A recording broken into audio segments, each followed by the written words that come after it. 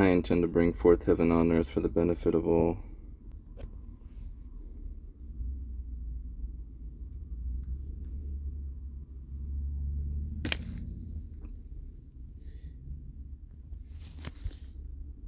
Oh,